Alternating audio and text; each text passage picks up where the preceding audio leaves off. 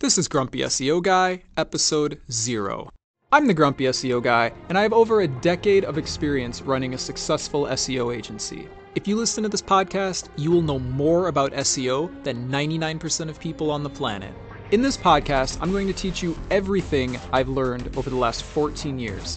Let's just get right to the point. The overwhelming majority of SEO agencies and SEO consultants are scammers and liars. Let me put it this way if you're not at the top of the search engines, your SEO agency is wasting your time and wasting your money.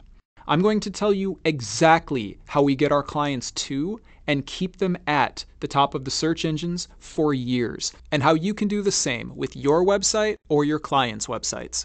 And that's just the beginning. We're going to talk about literally everything you need to know to rank a website, to hire an agency that's not going to rip you off. We're going to talk about how to start your own SEO agency if that's what you want to do. We're going to talk about why there are so many scammers and so many liars in the SEO industry.